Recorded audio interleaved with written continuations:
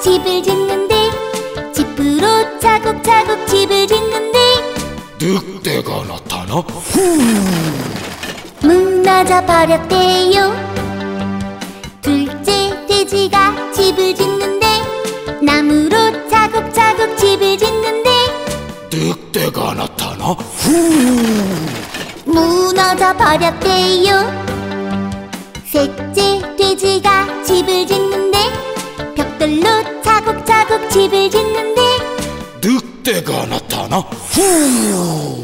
늑대가 나타나? 끄떡도 안 했대요